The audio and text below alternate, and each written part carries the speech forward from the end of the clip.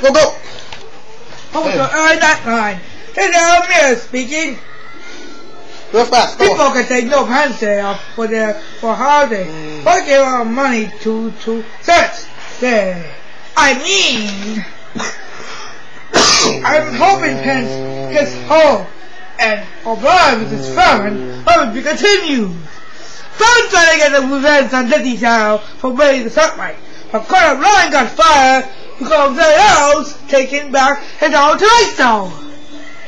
What will happen to, to the next line? What happened to Show?